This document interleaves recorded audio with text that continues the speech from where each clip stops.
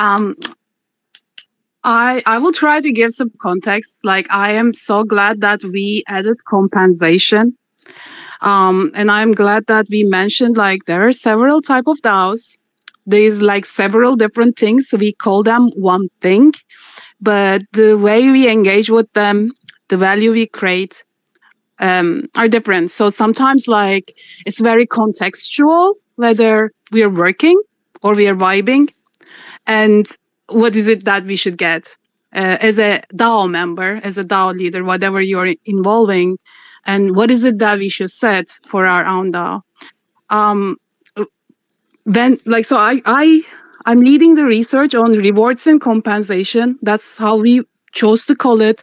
And then, like, uh, through the research, I realized by like rewards and compensation used to mean the same thing.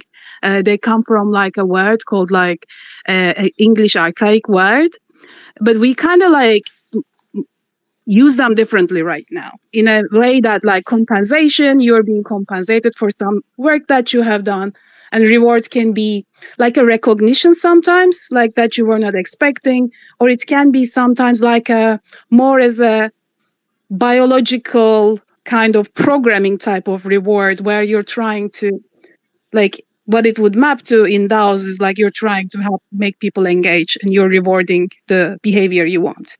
So that's like two different meanings of the same word. And what um, what I did is like just trying to like because the solution space like of what these DAOs are, these internet native organizations are so varied. It's really hard to talk about them without like the context. And what I realize is like we need a language for this. We need a map of like what are the primitives of this language. And there are almost like so we are mentioning like the work, like the value we are creating and how we account that. What is it? Is it the time? Is it the deliverable?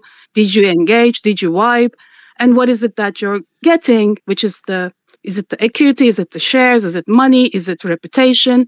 So I tried to kind of like look at these primitives and then list them like as, an, as a cartographer, what exists in those, what exists in the previous um, organizations, or even like in humanity, basically. And there are almost like around 30 different ways. Like we could like name these things, and all of them are valid and all of them are good if your context is right. Um, so that's like how I approach. Like there is no good or bad. It depends of who you are how your what is your relationship type of contribution? And what is the type of like what do you want to get out of it? Like the behaviors of the people. Do you want people to be long termist do you want people to like engage? Maybe you don't like too much. So it's like kind of it's almost like a formula of like bringing these together based on what you want. And sometimes there are trade-offs. So like there is an article like it's all going to be public good like it's in a way that is like um, creative commons people can read it. A, an article uh, that mentions the things that i said right now exists. I can link it. And the book is going to be like a further deep down of these different primitives as well as like the design considerations based on like could be like if you want long termism what are the things you can do? If you want like if you're a tokenized community vibe type of like um, DAO, what are the things you can do? And it's like not necessarily, and those are like kind of um, in a chapter, one by one, uh, we want to address um, what are the design considerations to pick those different type of accounting terms. So I'm just wondering, like, is this are, you surprised by anything you're hearing on incentives and rewards right? This is a space about incentive rewards. You're writing a book on incentive and rewards. Is there anything that's surprised you so far with some of the the, the feedback or input that people have provided? Uh, guy next here. Um, i am grateful for all the different type of insights that we heard. It's not surprising. It's not um, it is um, i can see still the passion and the good vibes riding on which for me that is that can be a little bit interesting because i am i've been like in this since 2018 it's not always good vibes. It's not always hype. Like it is it like it can change. And let me tell like it's not um all the information is grateful for what i want to do. Like i feel responsible I feel responsible because I believe the structures that we build can create new ways to exist, work, and safety of the individuals as well, financially and in different ways. That's how I see them. So it is really hard to kind of like when you're in it in the mm-hmm. long term it's really hard to make it safe all the time. There will be there will be times that things get rough and it's you don't feel good about it or you're offended. And there has to be something beyond that. Beyond like kind of that is my thinking. Of course it doesn't have to be. There are all these like great structures that we create and that is like fun and entertainment and good feelings but it's not all of them. And when it's not the case in the long term. And if you're aiming for the long term what is that thing and we like San, sandy was saying passion. And i am also like most of us in this space who are the early entrants you we share something common. We don't necessarily realize it.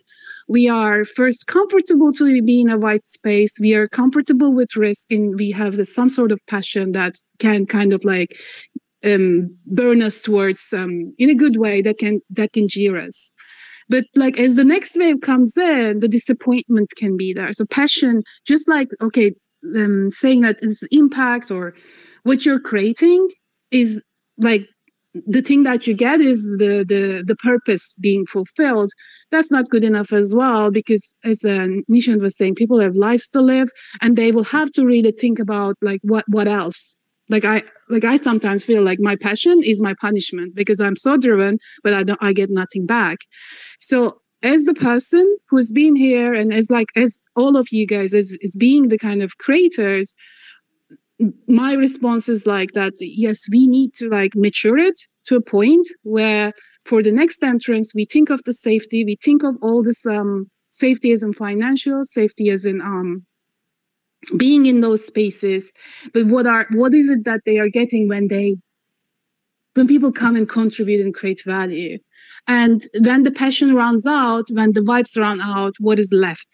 Um so for that it can be anything and everything and that's where i kind of like go really abstract and maybe confusing like i think there is not one answer. Like the only thing is the communication and a language and we don't have it yet. Like we're like if we had if we were able to like really make like understand on the onboarding and understand what the expectations if we are not get anything back if we knew that in the first entrance there will be no disappointment.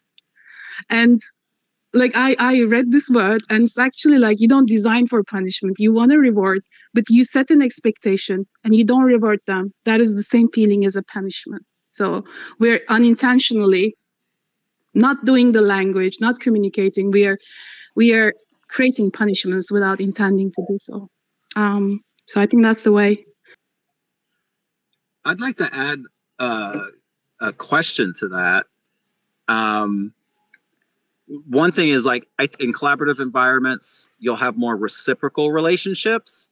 And so i'm interested in learning like what will rewards compensation and incentives look like for reciprocal relationships that are built on trust designed for you know fluid collaboration open communication you know that's just a different you know for volunteers maybe in a lot of cases um, or for part timers, you know, that like we discussed earlier, a lot of the demographics will, you know, are, are constantly in flux as with the market. Um, so that's what I expect is that reciprocal relationships will have different structures. Um, you know, one thing is like the lens protocol, for example.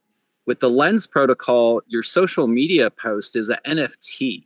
I've actually created it and I own it. And you can buy that NFT as a way to contribute to what I publish. And I can actually give you an incentive to share my posts that gives you a 50% revenue or whatever I want to give you if somebody collects or buys that NFT from something you've shared.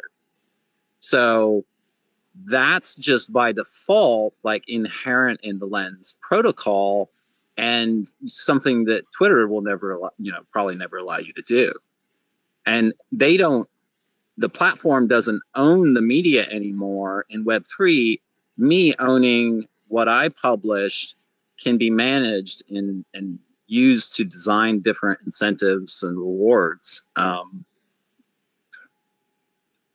so that that's what i'm excited to like learn about and, and see like you know what fundamentally changes um, in collaborative environments. Oh we got raphael that just joined the space here. Awesome really hearing everybody's unique experiences and different interests. Once in a while but not enough i think. Uh, so so appreciate that that is something that would be good not just for one person but for a lot of people. Um, but yeah that's that's kind of what i'm trying to to dig into now at least a little bit more Thanks, Teja. Those are those are big topics, man, and you know I, I, hope we get to chat about them more. I mean, I'd like to have some input on it, and and just who do we got here from DAO Planets, by the way? Is this is Elijah? Is this Steve? Who, who's here? Oh, this is Ernest. Hey, um, Ernest? I was switching all the hey. accounts. well, I was having problems on the phone. Um, it just wasn't giving me the ability to like. I was I accepted the co-host invite, but for whatever reason, I just couldn't request the speaking. Um, and so I logged in on my desktop on a phone emulator app, um, and it's what I use. It's Problem so sorry, sorry about that. Um, I just wanted to basically, you know, give a big thanks for for everybody. These are awesome, um, awesome. Really hearing everybody's unique experiences and different interests. Um, I wanted, uh, you know, I'm kind of known for being in, in several different DAOs, and you know, I have different internal reasons, and they all have different, um, you know, compensations and rewards. Um, and as RnDAO members, uh, Gaia and myself, Ernest of Gaia, we're not related, just so everybody knows. Uh, the uh, but essentially um, you know, it's a it's a collective of researchers. I was super impressed with some of the research that they've published. They mostly have kind of um, you know individuals, you know, mostly autonomous research projects or research work groups, and then um, you know, there's lots of, of shared learning amongst the projects and each other that creates a really good vibe um, and, and research is generally like grant funded, you know, kind of compensation model. Um, and so big thanks to DAOpunk for kind of uh, um, starting some seed funding um, in the first stage of what we hope to be a, a public goods book. Um, I'm, you know, not a writer or, you know, the big researcher. That's mostly Gaia. I'm I just want to be the, the biggest fan of this research because, um, yeah, it's super difficult living just off of earning altcoins. Um, super difficult, even if you're earning Ethereum or Bitcoin um, with the volatility. You know, everybody does need, you know, some basic needs met. I think one of the biggest things in Web3 is that it opens up, you know, if, if we see Web3 as, you know, uh, an environment where people tend to cooperate, um, where trust can be built, you know, this opens up the ability to address a diversity of human needs. And, you know, essentially in low trust environments, we tend to compete. And in high trust environments, we tend to cooperate. And so if we have tools that are building trust, opening up communication, enabling us to request and share our needs with each other. I think those are the protocols that'll replace Twitter, right? And and and remove the blockers that's between platforms because ultimately ultimately we don't trust each other when we come to Twitter, right? We don't have to trust anybody. Uh, we build relationships through activities together that build trust. But right, fundamentally, the use case for Twitter is that you know if if your government's hijacking everything, you know you can create create anonymous accounts and still get that news out there. Um, so I'm just super interested in this topic. Love hearing folks, you know, thoughts on it. And you know, this project is going to take a, a, a, year or two, um, and yeah, just really appreciate everybody's feedback um, and in you know support.